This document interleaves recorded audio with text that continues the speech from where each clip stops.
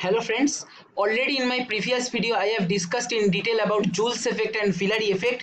These two effects are very important to understand the working of magnetic sensor.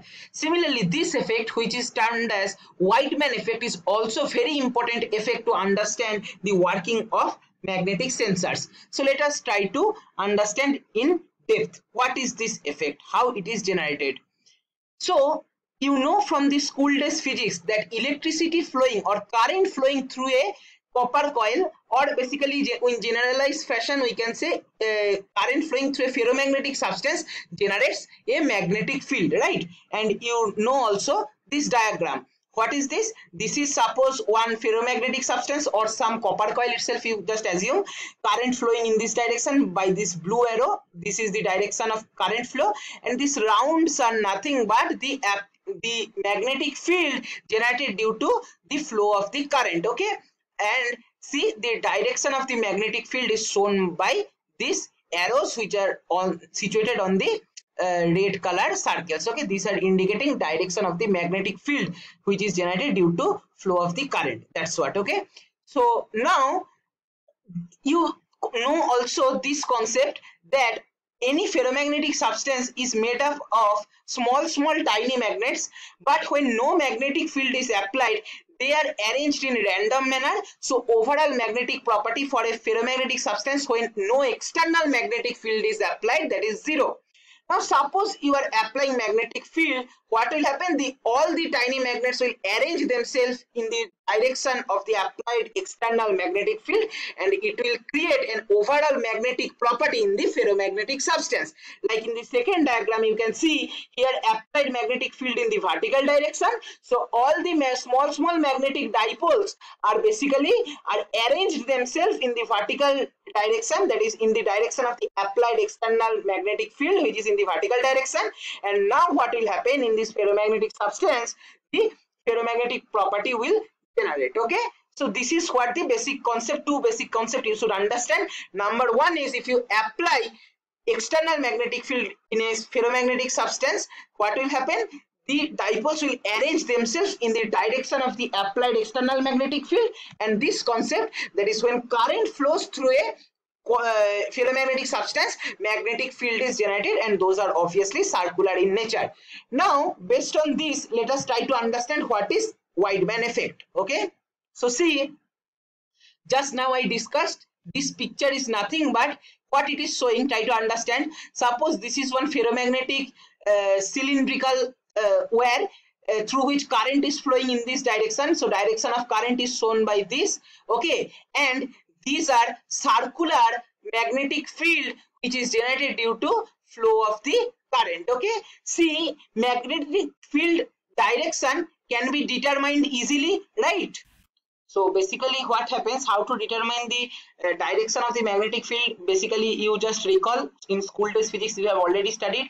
Suppose this is the direction of the flow of the current then what you do? You just keep your thumb in the direction of the current and bend your four uh, uh, four fingers round right? So basically four fingers will move in that in a particular direction and that direction is basically direction of the applied magnetic field. Like this figure you can easily understand. Okay uh, thumb pointing along the current direction of current is this in this direction and direction of magnetic field is this direction because all the rest four fingers are moving like this way. Okay straight and this is straight where carrying current. Okay so now let me go to original pdf so see this is basically direction of the flow of the current. Now if you apply your thumb rule then what you will get?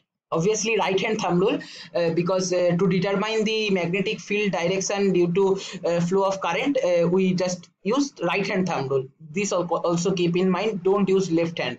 Okay? So if you apply right hand thumb rule you will get the current direction like this. Okay? So see currents are moving in this way in this way okay? See i hope from the arrow itself you can understand. So what will happen?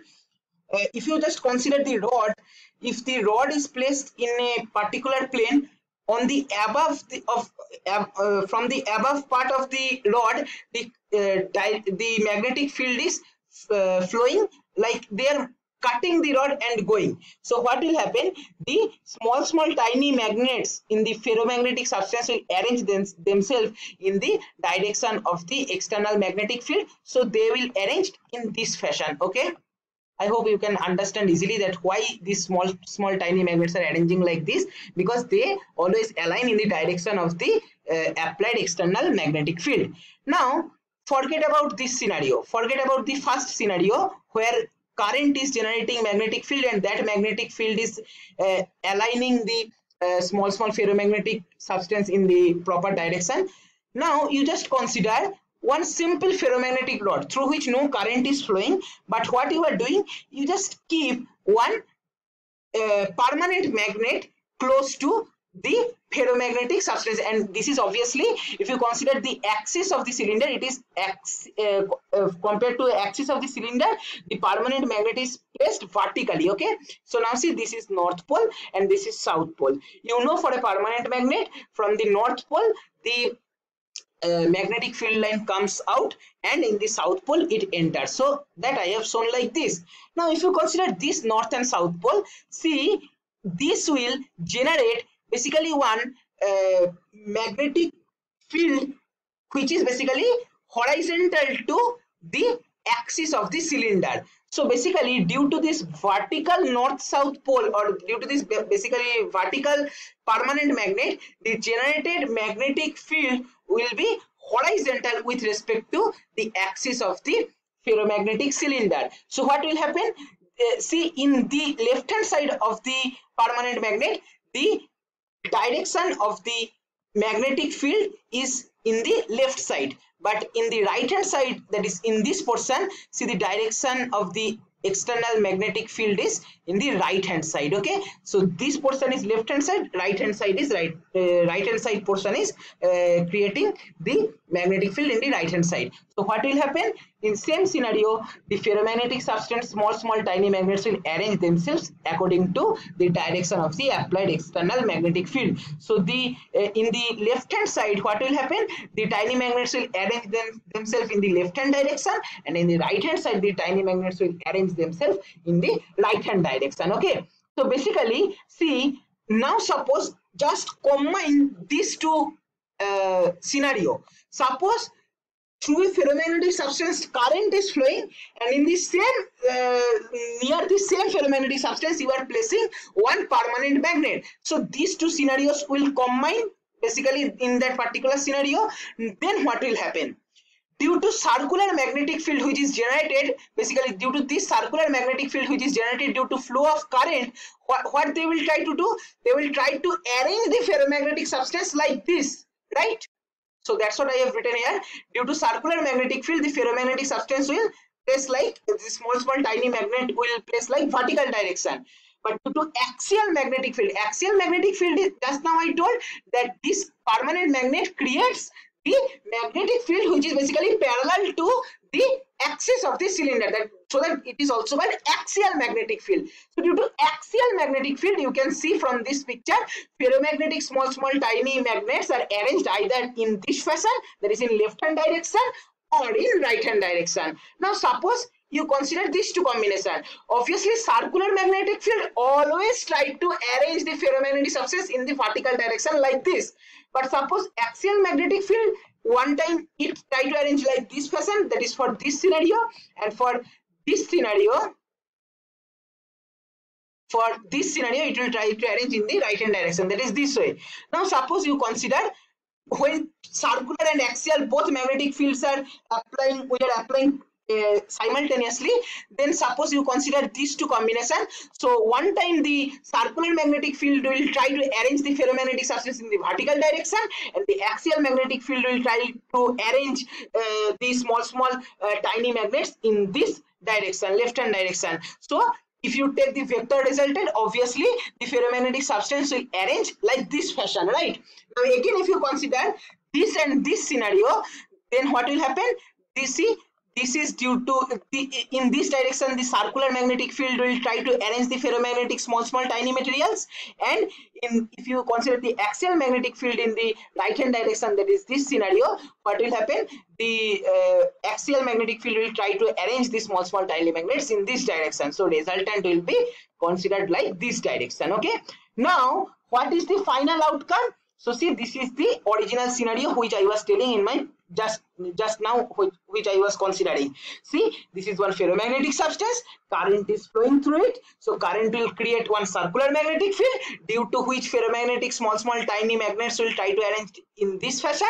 But simultaneously we are applying we are keeping one uh, permanent magnet uh, which is perpendicular to the axis of the magnetic field uh, sorry axis of the uh, ferromagnetic cylinder.